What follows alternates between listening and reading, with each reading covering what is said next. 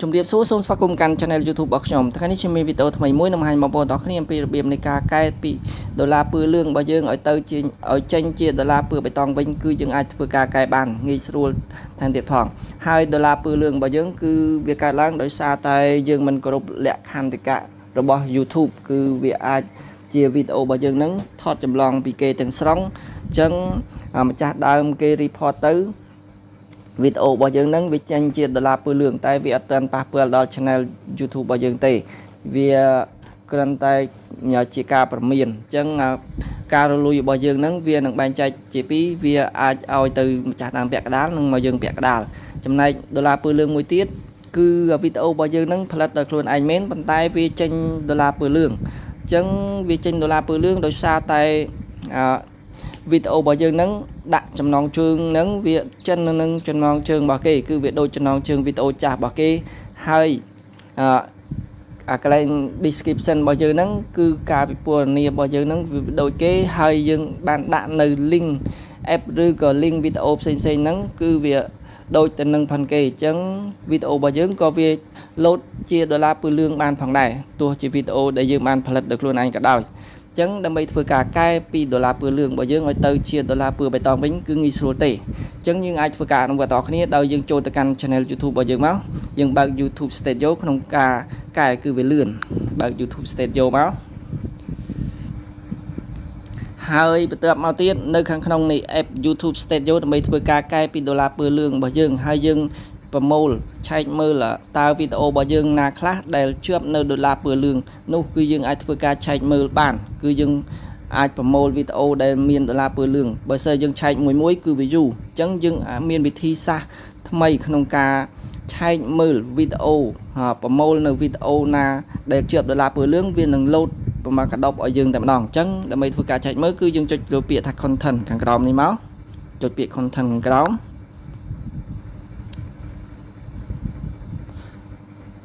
ហើយបន្តមកទៀតនៅខាងក្នុងនៃ content ហ្នឹងគឺយើងមើលជួរខាងលើអញ្ចឹងនេះសិតតែវីដេអូបើសិនជាយើងឆែកមើលមួយមួយគឺវាមិនងាយទេវីដេអូរបស់យើងច្រើនអញ្ចឹងយើងអាចឆែកមួយមួយបានទេព្រោះវីដេអូរបស់យើងធ្វើច្រើនឆ្នាំអញ្ចឹងវាច្រើនយើងពិបាករក view អញ្ចឹងដើម្បីធ្វើការឆែកមើលឲ្យលឿនគឺយើងមើលខាងលើនេះមកយើងទាញពីស្ដាំទៅឆ្វេងហើយយើងរកមើលពាក្យថា monetization យើងឃើញ monetization យើងចុចលើពាក្យហ្នឹងមក ហើយតមកទៀតគឺយើងចុចយកពាក្យថា limit យើងចុចយកពាក្យ limit មកនេះខាងក្រោមយើងធីកក្នុងហ្នឹងមកតមកយើងចុចយកពាក្យថា apply apply មកវានឹងធ្វើការឆែកវីដេអូរបស់យើងហើយនៅក្នុង channel របស់ខ្ញុំគឺមានវីដេអូ2ដែលជាប់នៅដុល្លារពើលឿងយើងចង់ធ្វើការកែពីដុល្លារពើលឿងនេះឲ្យទៅជាដុល្លារពើបៃតងវិញគឺងាយស្រួលទេ ទី1គឺយើងត្រូវតែធ្វើការ turn off monetization ជាមុនសិនគឺយើងបិទការរលួយសិនមក ហើយបន្ទាប់មកយើងទៅធ្វើការកែវីដេអូរបស់យើងនោះអឺយើងបន្ទាប់ពីយើងធ្វើការកែហើយវានឹង save ហើយបន្ទាប់ពី2 3ថ្ងៃមក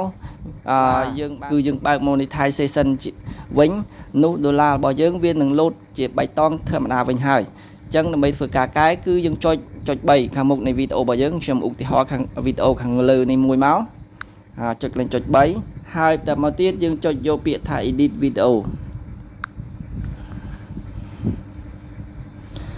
ហើយចូលមកដល់ខាងក្នុងនៃវីដេអូរបស់យើងនេះយើងត្រូវតែធ្វើការ turn off monetization ជាមុនគឺយើងចុចកន្លែង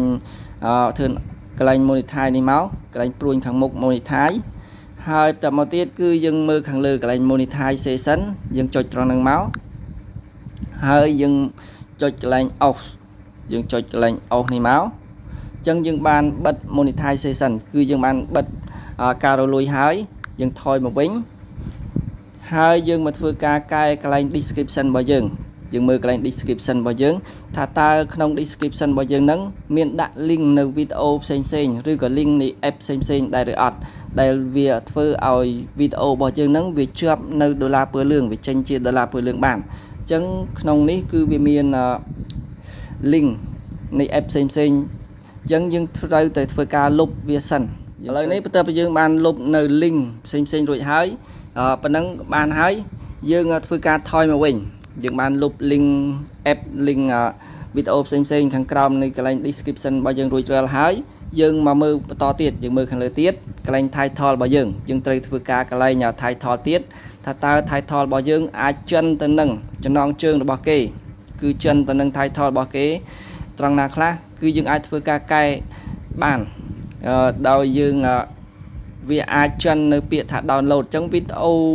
ដែលគេផលិតមុនគេអាចមានសរសេរពាក្យថា download អញ្ចឹងយើងត្រូវលុបថា download នេះចោលកែពាក្យថា download យើងដាក់ពាក្យថាទាញយកវិញយើងខាងមុខហ្នឹងគឺយើងដាក់សញ្ញាត្រង់ជ្រូកមួយមកឬក៏យើងដាក់សមិទ្ធសញ្ញាផ្សេងក៏បានដែរហើយពីមុខត្រង់ជ្រូកហ្នឹងទៀតយើងសរសេរឈ្មោះយើងក៏បានសរសេរពាក្យអីក៏បានជាភាសាអង់គ្លេសនៅខាងមុខហ្នឹងមកឧទាហរណ៍ថាអឺ ខ្ញុំខ្ញុំដាក់ឈ្មោះខ្ញុំពីខាងមុខយើងអាចដាក់ជាឈ្មោះយើងមកជាភាសាអង់គ្លេសហើយបន្ទាប់យើងធ្វើការកែនៅ title នឹងរួចយើងបន្ថែមបន្ថយរួច គឺយើងមកមើលកន្លែងខាងក្រោមម្ដង ជាកន្លែងភាសាអង់គ្លេសនេះ យើងអាចដាក់ត្រង់ជ្រូកមកយើងយើងដាក់ត្រង់ជ្រូកមកដើម្បីឲ្យវាខុសគេបន្តិច ហើយបន្ទាប់មកទៀតយើងបានកែនៅ title របស់យើងរួចរាល់ហើយយើងមកមើលការកែនៅ thumbnail វីដេអូរបស់យើងម្ដង គឺយើងចុចត្រង់នេះមកហើយយើងទៅយក thumbnail ថ្មី គឺយើងបង្កើតនៅ thumbnail ថ្មីរបស់យើងមកហើយយើងទៅសេធ្វើម៉េចកុំឲ្យមានពាក្យថា download យើងទីទៅសេពាក្យថាទាញយកវិញហើយកន្លែង logo នេះវាអាចជាប់ logo ពីក្រុមហ៊ុនក៏បានដែរគឺយើងអាច បិទ logo គឺអត់ដាក់ logo នេះមកវិញទេ យើងហើយយើងសរសេរពាក្យថាទាញយកនៅកន្លែងពាក្យថា download នេះយើងជំនួសពាក្យ download យើងសរសេរពាក្យថាទាញយកវិញហើយបន្ទាប់ពីយើងបង្កើតនៅ thumbnail ថ្មីរួចគឺយើងទៅយក thumbnail ថ្មីដែលយើងបានកែរួចយកមកដាក់គឺយើងចុចកន្លែងរូបប៊ិចនេះមកចុចកន្លែងរូបប៊ិចហ្នឹងហើយបន្ទាប់មកយើងចុចយកពាក្យថា change ចុចយកពាក្យថា change មកនោះយើងនោះវានឹងរត់ទៅកាន់ thumbnail ថ្មីឲ្យយើងធ្វើការជ្រើសរើសយកមកដាក់ ជំនួស thumbnail ចាស់ហើយហើយបន្ទាប់ពីយើងដាក់នៅ thumbnail ថ្មីរួចគឺយើងចុចយកពាក្យដាន់ចុចយកពាក្យថាដាន់នេះមកហើយបន្ទាប់មក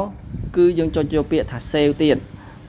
បន្ទាប់ពីយើងបន្ទាប់ពីយើងធ្វើការ save រួចពីមួយថ្ងៃក្រោយមកយើងធ្វើការបើក monetize ជាថ្មីដុល្លាររបស់យើងនឹងចេញជាបៃតងតែម្ដងវាឈប់ចេញដុល្លារពើលឿងទៀតហើយអញ្ចឹងវីដេអូនៃការបង្ហាញពីរបៀបនៃការ កែពីដុល្លារពើលឿងទៅជាដុល្លារពើបៃតងវិញគឺសូមចាប់ត្រឹមនេះសូមអ្នកទាំងអស់គ្នាចូលរួមចុចអក្សរ Subscribe និង Like នឹងក្រោមវីដេអូនេះផងសូមអរគុណ